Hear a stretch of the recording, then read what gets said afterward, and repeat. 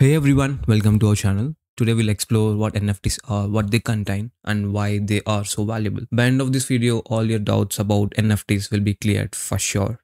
So let's get started. What are NFTs? NFTs stand for non-fungible token. Here, non-fungible means something that cannot be exchanged one-to-one with another item because it is unique.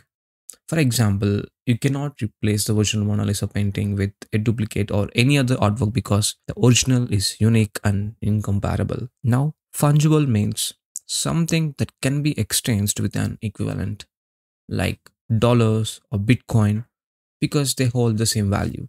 For example, if I give you $100, you can return it as like 10 $10 notes because the value is the same. However, if I give you a cricket bat signed by Sachin Tendulkar, you cannot return just any random bat because this bat itself has very uniqueness. That's the difference between fungible and non-fungible. How do NFTs work? NFTs are digital tokens stored on a blockchain. So let's understand how they work like step by step. The step one is minting.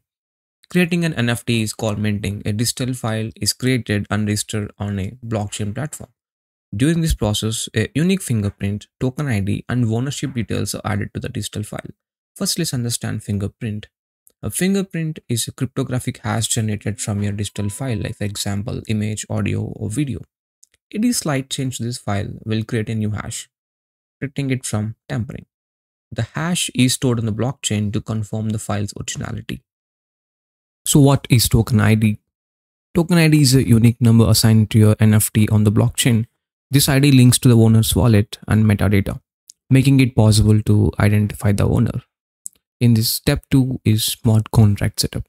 Smart contracts are essential for NFT creation. They are automated codes on the blockchain that execute transactions based on the predefined rules.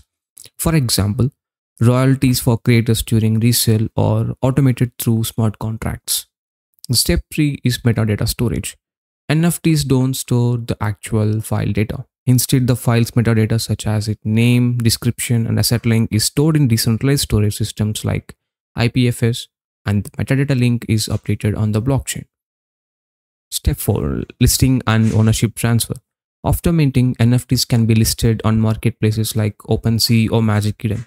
When a buyer purchases the NFT, the blockchain updates the transaction and ownership is transferred to the buyer. The entire process is transparent and tamper proof. What do you actually own when you buy an NFT? When you buy an NFT, you are not purchasing the actual artwork, but the token representing it. Others can download the art, but the NFT token remains uniquely yours recorded on the blockchain. For example, it's like owning a famous sports jersey with while replicas exist, only you have the original. Practical uses of NFTs. NFTs have numerous use cases that go beyond digital art. Let's look at some examples. Digital art. Many artists create and sell their artwork as NFTs. Let's take an example. Vignesh Sundaresan purchased an NFT called Every Day is the First 500 Days for staggering $69 million, which is crazy. Second one is in game items. In games like Axie Infinity, NFTs serve as characters or rare items. You can use them in the game or sell them for real money. For example, if you have a sword, which is very rare, you can use in the game or if you don't use it you can sell it for money and then you can get real bugs collectibles and tweets and more. For example like twitter's founder sold his first tweet as an nft for 29 million dollars. Fascinating right? But as of now if you see uh, nfts are getting used in many other places as well like concert tickets and virtual real estate. Why are nfts so expensive? Here are some reasons like why nfts are so costly the first one is being the first. First edition NFTs or initial drop holds immense value like rare trading cards. For example, CryptoPunks or Bored Ape NFTs are extremely expensive because they are first generation. Utility. For example, if a celebrity creates their own NFT collection and announces that NFT holders will have the exclusive opportunity to meet them in person and enjoy private lunch once a year, then the value of this NFT is likely to increase and potentially become quite expensive. That's how most of the NFTs work. Rarity and ownership history. Limited edition NFTs or those from celebrities are very popular and often sell for high prices. Thank you everyone.